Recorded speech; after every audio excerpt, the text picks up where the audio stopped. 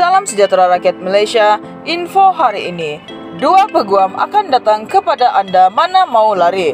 Baru-baru ini hangat diperkatakan apabila pelakon Putri Sara mendadakan rumah tangganya diganggu orang ketiga.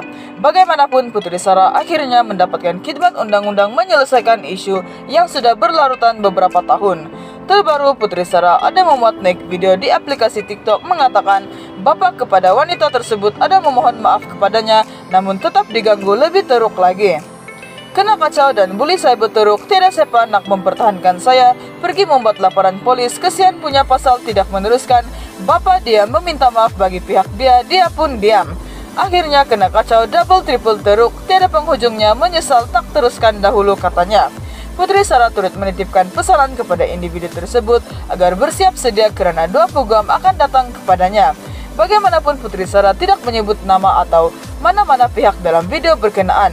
Sekarang dua peguam datang kepada Anda, persiapkan diri Anda, mana mahu lari, perkara yang baik datang kepada mereka yang menunggu. Saya datang pada awak, tunggu saya habis bercuti sekejap tulisnya.